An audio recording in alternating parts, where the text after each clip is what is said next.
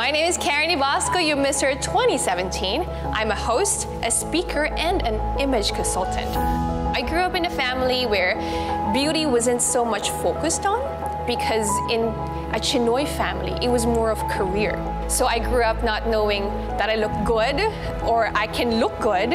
I was just focused on studies, even though that's the kind of tradition I grew up. In time, I was built with the right values. So as you grow up, you would understand more of beauty and in the processes or situations that you go through in life. But values being founded in you would be the greatest foundation that your parents can ever give you. And that's how I started. Values and education were the things that were instilled in me as young as I was. I never thought that I have made that impact in my community.